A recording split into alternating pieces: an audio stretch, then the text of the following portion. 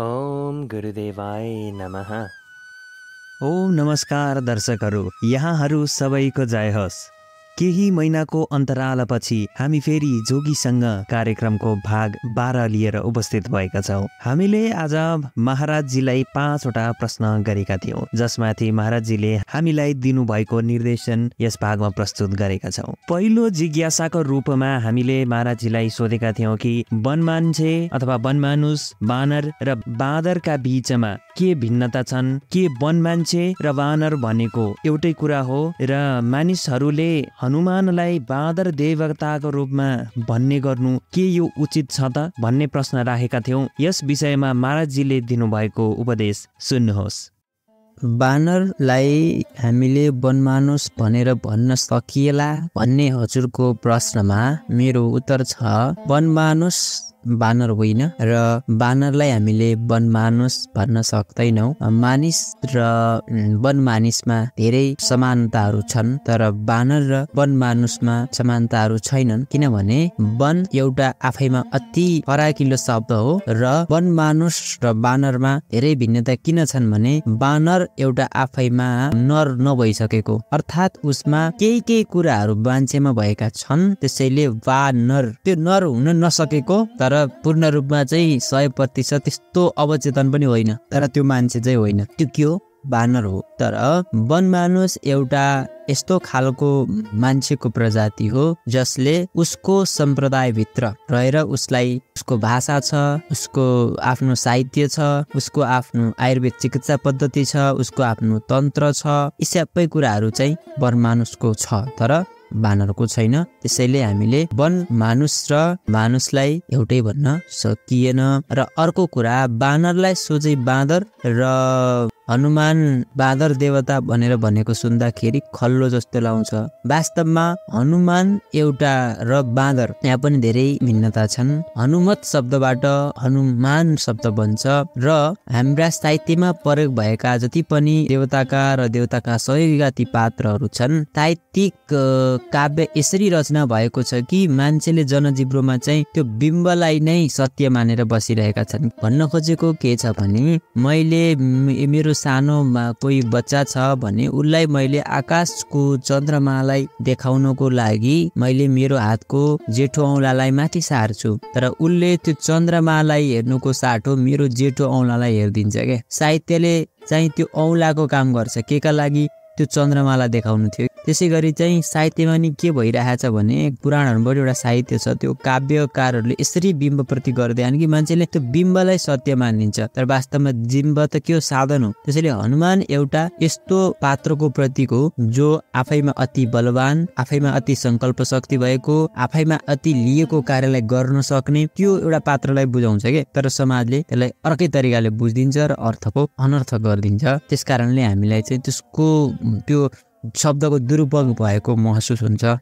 र यसरी वनमानुस वानर र बाँदरको विषयमा महाराजजीले हामीलाई प्रस्ट्याउनु भएको थियो र दोस्रोमा हामीले मनमनै यदि कुनै व्यक्तिले कुनै देवतालाई मित्रको रूपमा मानेको अवस्थामा के हुँदो होला भनेर प्रश्न गरेका थियौँ। यसमा महाराजजीले दिनुभएको निर्देशन यस प्रकार छ। एउटा मान्छेले मनमा नै एउटा देवतालाई आफ्नो मित्र र मित मानेको छ भने उसले त्योलाई एक किसिमले इष्टको स्थान पनि दिएको छ। इष्ट भनेको चाहिँ अत्यन्त नजिकबाट सबैभन्दा पहिला देखिने होइन? सबैभन्दा पहिला सुरुमा पहिलो प्राथमिकतामा पर्नेलाई चाहिँ इष्ट भनिन्छ कि? मतलब त्यसपछि बल्ल अरू एउटा अङ्ग्रेजीमा शब्द छ नि बेस्ट। फ्रेन्ड भन्छ नि बेस्ट भन्छ नि त्यो। इष्ट भनेको चाहिँ सबभन्दा पहिला ठ्याक्कै आउने कि केही मेहनतै गर्नु पर्ने अचानक त्यो उपस्थिति भइहाल्ने। एक किसिमले चाहिँ भौतिक जीवनमा दुई तिनवटा कुरा इष्ट हुन्छ। एउटा चाहिँ माता इष्ट हुन्छ क्या। त्यो स्वाभाविक प्रकृतिले पाएको अनि त्यसपछि पिता हुन्छ अनि त्यसपछि गुरु अनि त्यसपछि देवताहरूमा चाहिँ अब विभिन्न धेरै देवताहरू मध्येको एउटा इष्ट हुन्छ। यसरी महाराजजीको निर्देशन प्राप्त भइसकेपछि हामीले बाबा गुरु गोरखनाथजीले दिनुभएको उपदेश मनलाई मर्दन गरेर मैदा पार्नु। यस उपदेशका बारेमा पनि महाराजजीका सामु प्रश्न गरेका थियौँ। यस उपदेशमाथि पनि महाराजजीले दिनुभएको दिग्दर्शन यस प्रकार छ। मनलाई मर्दन गरी मैदा पार्नु साधकको अपरिहार्य अनुशासन हो। अब जो जसले मनलाई मर्दन गर्न सकेका छैनन्। तिनीहरूलाई तपाईँले मोड लठेउरा भन्ने सम्बोधन जो गर्नुभएको छ ठिकै छ।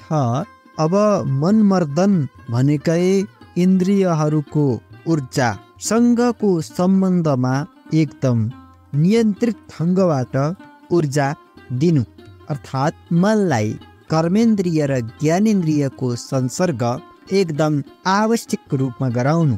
अर्थात् मन इन्द्रिय र कर्मेन्द्रिय र ज्ञानेन्द्रियमाथि मनको हस्तक्षेपलाई रोक्नु। नितान्त चेतनाको हस्तक्षेप धेरै हुनु नै एक उत्तम र सरल तरिका हो। त्यसरी गरेको खण्डमा पनि यसले गति लिन सक्छ।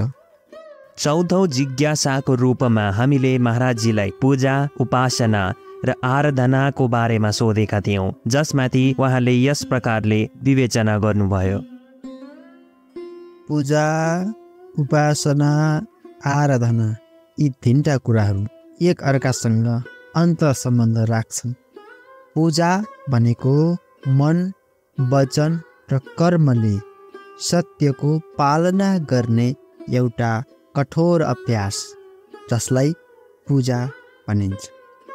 उपासना भनेको चाहिँ अहोरात्र निरन्तर सत्यको नजिकमै रहिरहनु सत्यलाई रुचाउनु सत्यको स्वरूपसँग सदा अलग नभइकन रहनु। आराधना अर्थात् कुनै पनि गुरुद्वारा कुनै पनि मार्गदर्शकद्वारा प्राप्त भएको आत्मा उन्नतिको मार्गमा अग्रसर भइरहनु। अर्थात् अखण्ड रूपमा मायावी समय नष्ट गर्ने ऊर्जा नष्ट गर्ने सांसारिक विषय र वस्तु जो केवल भोगका लागि प्रोत्साहन गर्छन् त्यस्ता चिन्तनाहरूबाट त्यस्ता सङ्गतिहरूबाट अलग रही नितान्त स्वयं स्वान्त सुखमा रत रहनु नै आराधना हो। यसरी पूजा उपासना र आराधनाको बारेमा थाहा पाइसकेपछि हामीले पाँचौँ प्रश्नको रूपमा हामीले सोमरसको अर्थ के हो महाराजजी भनेर सोधेका थियौँ र मदिरालाई मानिसहरूले सोमरसकै अर्थमा लिने गर्नु के यो ज्ञानको कमीले गर्दा भएको हो भन्ने प्रश्न गरेका पनि थियौँ। यसमाथि महाराजजीले यसरी प्रष्टीकरण दिनुभएको छ। मानिसहरू सोमरसलाई सोझै मदिरा भन्छन् यो उचित छैन।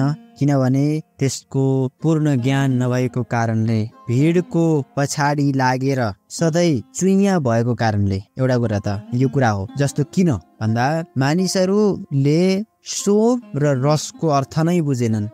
सोम शीतलताको प्रतीक हो र रस जुन एउटा साहित्यिक रूपमा र भौतिक जगतमा हेर्दाखेरि रस एउटा पाचन गर्नको लागि आवश्यक पर्ने एउटा तत्त्व हो। अर्थात् एउटा यस्तो रस जसमा शीतलता पनि छ जसमा पाचकत्व पनि छ। यी दुईटा कुरा छ त्यसमा। त्यसैले सोम रस यस्तो रस हो जसले तपाईँलाई कुनै रसहरू कस्ता हुन्छन् अम्लीय हुन्छन्। पचन गर्ने कुराहरू पनि हाम्रो शरीरमा एसिड टाइपका अम्लीयहरू हुन्छन्। तर कुनै रस कस्तो खालको रस जो अम्लीय छैन शीतल छ र रसले युक्त छ। त्यस्तो खालको रस सोम रस जसलाई अमृत पनि भनिन्छ। जसको पान गरिसकेपछि केही कुरा बे नै गर्नु पर्दैन। सोम रस भनेको जसको सेवन गरेपछि विसर्जन गर्ने कुरा कम हुन्छ। त्याग्नु पर्ने कुरा एकदमै न्यून हुन्छ जसमा हुँदै हुँदैन। त्यस्तोलाई चाहिँ सोमरस हुनुपर्छ जस्तै हामीले खानाहरू खानेहरूमा मह हामी खान्छौँ। भौतिक रूपमा हेर्दा त्यो पनि एक किसिमको सोम हो।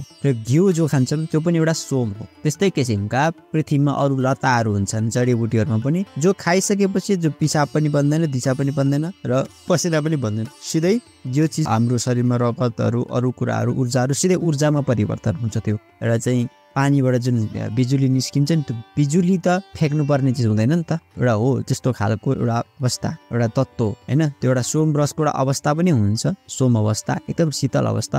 र त्यो सोम रसको प्रयोग चाहिँ जडीबुटी विज्ञानमा र एउटा चाहिँ भित्र पनि हामी जब ध्यानको अवस्थामा जान्छौँ त्यहाँ पनि एउटा सोम रस शीतलतामा रहिरहने एउटा रस त्यसको नसा लाग्यो भने भित्र जब ध्यानको नसा लाग्यो ध्यान ध्यान पनि एउटा आफैमा सोम रस हो। यसरी हाम्रा पाँचवटा विविध जिज्ञासाहरूमाथि महाराजजीले सुन्दर रूपमा प्रष्टीकरण दिनुभयो। हामी आगामी भागहरूमा पनि यस्तै गरी जिज्ञासाहरूमाथि प्रकाश पार्नुहुन महाराजजीलाई अनुरोध गर्दै गुरु महाराजका सुन्दर वाणीहरू यहाँहरूमा अझै ल्याउने नै छौँ। यहाँहरूलाई आजको भाग कस्तो लाग्यो? कृपया कमेन्ट बक्समा आफ्नो सल्लाह सुझाव र जिज्ञासा यहाँले राख्न सक्नुहुन्छ। साथै यदि च्यानलमा नयाँ हुनुहुन्छ भने कृपया सब्सक्राइब गरिदिनुहोला र भिडियोलाई लाइक पनि गरिदिनुहोला। हवस् त हरिप्रिय दर्शकजनहरू आजको यस भागलाई यहाँ टुङ्ग्याउने निधो गर्दै यहाँहरूको आगामी समय शुभ रहोस् भन्दै बिदा लिँदछौ। सबैको जय होस्।